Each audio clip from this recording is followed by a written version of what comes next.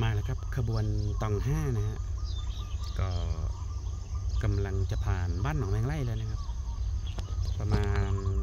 6 นาฬิกา 57 นาทีนะฮะวันนี้ค่อนข้างจะยาวอยู่นะฮะวันนี้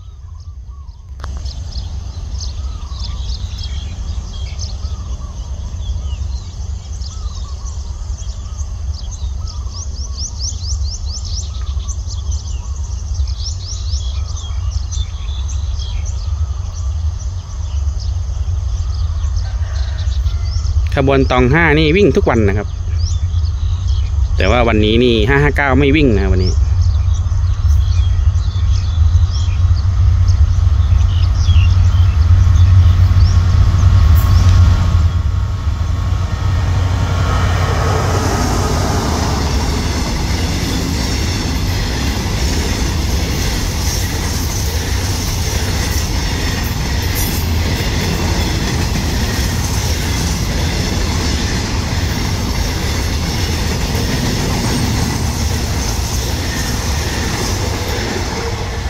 QSY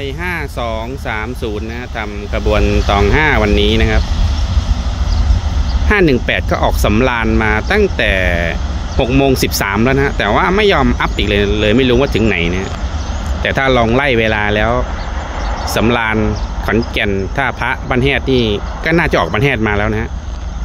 เดี๋ยวจะลองนั่งรออีกสัก 5 นาทีนะถ้า 5 นาทีไม่มาก็จะกลับบ้านนะ